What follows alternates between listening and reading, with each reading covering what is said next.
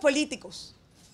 Leopoldo López, nueve meses y 21 días preso, injustamente.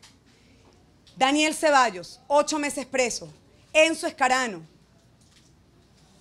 Salvador Eluquese, presos injustamente en la cárcel de Ramo Verde. Rosmi Mantilla, un dirigente, un activista de derechos humanos, está preso en el SEBIN hace ocho meses y Rosmi no ha tenido la primera audiencia preliminar, no la ha tenido, no lo han atendido, no ha visto un juez, no ha visto un juez en ocho meses. Gilberto Sojo, un activista social de voluntad popular.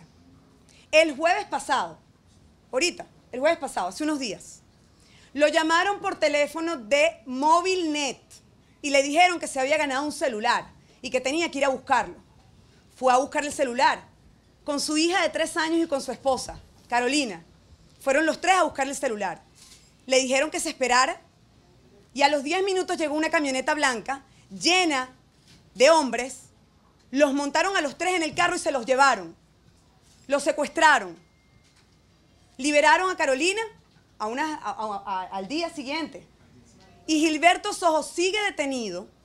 No sabemos dónde está, porque nadie lo ha visto desde el jueves, secuestrado por el Estado venezolano.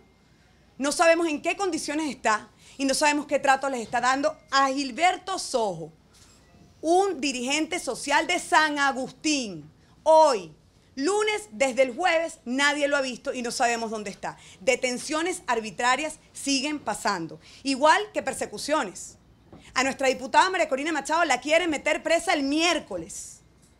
Siguen las detenciones arbitrarias, siguen los tratos de tortura, siguen los, los juicios llenos de vicios, el sistema judicial totalmente manipulado, sin dar respuesta a millones de venezolanos. Por eso este documento es tan importante, porque este documento, este documento habla de todos los venezolanos, de todas las víctimas. Nosotros, este documento no es para la oposición, este documento no es para Leopoldo López, este documento no es para Voluntad Popular, no. Este documento es para toda Venezuela, nos incluye a todos, a todas las víctimas.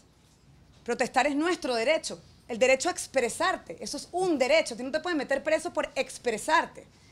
Y el gato y Baduel son un ejemplo de detención arbitraria, siguen presos hace ocho meses y le quemaron los testículos.